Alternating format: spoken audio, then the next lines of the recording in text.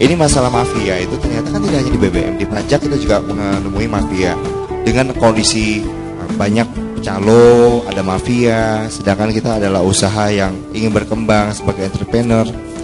Tameng macam apa yang harus kita gunakan sebagai pengusaha muda? Semua orang selalu cenderung untuk memperbesar penghasilannya, mengurangi ongkosnya, kan gitu kan? Itu cenderung itu itu pikiran dasar pengusaha sebenarnya.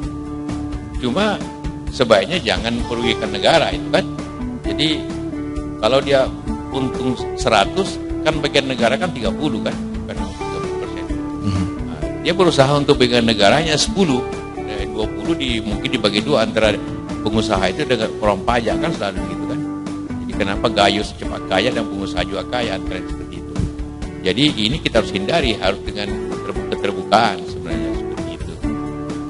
bahwa pengusaha itu berkelit atau berusaha untuk menurunkan biayanya itu itu aja harus begitu pengusaha. Asal jangan bagian negara yang dikurangi gitu aja. Jika pengusaha ingin mengu- mengurangkan biayanya tapi ujung-ujungnya curang pajak, ya curang apa saja curang pajak curang kepada konsumen itu tidak baik. Itu tidak ada kepercayaan. Sulitnya kadang-kadang saling mengajak pengusaha pajak mengajak pengusaha juga ngajak gitu. Kemudian bagi dua biasanya The Brainer dipersembahkan oleh Carrefour